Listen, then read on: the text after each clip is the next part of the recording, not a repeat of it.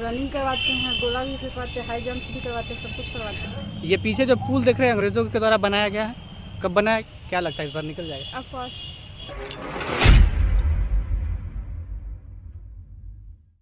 स्वागतम मैं हूँ गौतम और स्वागत है आप सभी का मेरे फ़र्स्ट ब्लॉग पर। और मैं देखिए अभी कहाँ हूँ एक नदी है। हम मालूम है तेरे बाप को मत सिखा चल। और नदी में जो पानी अभी सूख गई है और वहाँ पर भी और मेरे पीछे देखिए कितना सुंदर। और शाम का समय है गंडक नदी के बीच में मैं खड़ा हूँ पानी नहीं है। इसी कारण मैं खड़ा हूँ और पीछे बहुत ही सुंदर सनसेट हो रहा है। अद्भुत नज़ारा है और हल्की हल्की जो अ, भगवामय जो रंग है ना ज़बरदस्त लग रहा है। तो कुछ दृश्य मैं दिखाता हूँ। ये कुछ दृश्य है जो तरबूज, खरबूज की खेती भी यहाँ पर होती है जब पानी सूखता है। और कुछ लड़के यहाँ पर दौड़ लगाते हैं, आर्मी वगैरह की ट्रेनिंग करते हैं।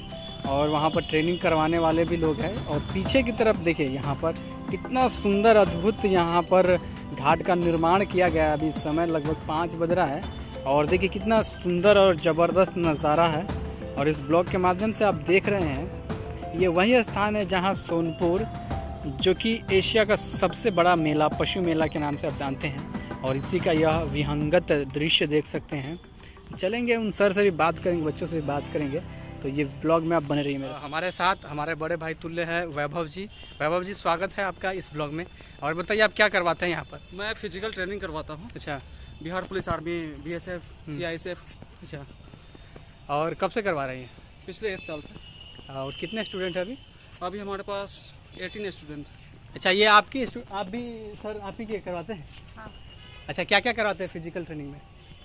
रनिंग करवाते हैं गोला भी फेंकवाते हैं हाई जंप भी करवाते हैं सब कुछ करवाते हैं। सही से करवाते हैं पहले वो? नहीं। कौन है ये लोग? कहाँ से आते हैं ये?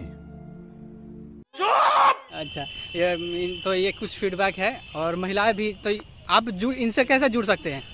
अच्छा ये बताइए आपसे कैसे कोई जुड़ सकता है?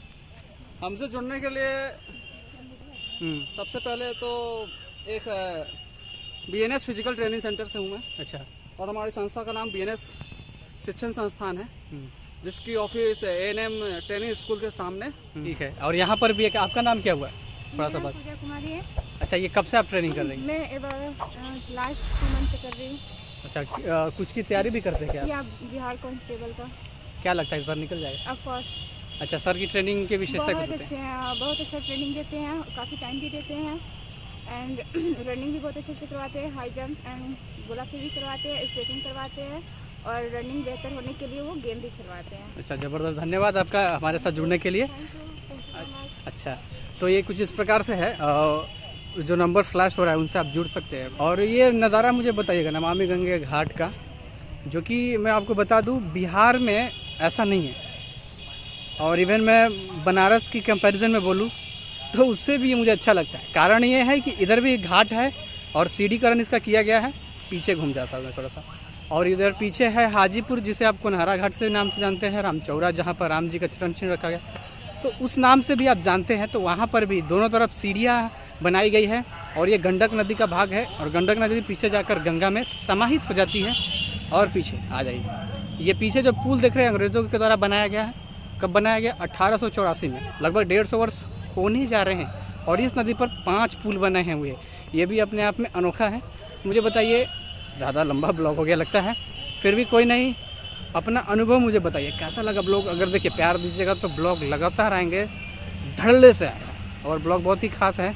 चपाती बन रहा है जो वहाँ पर मैं नहीं लेकर गया हूँ। अगले ब्लॉग में ज़रूर लेकर जाऊँगा। तो आज के लिए फ़िलहाल इतना ही। धन्यवाद।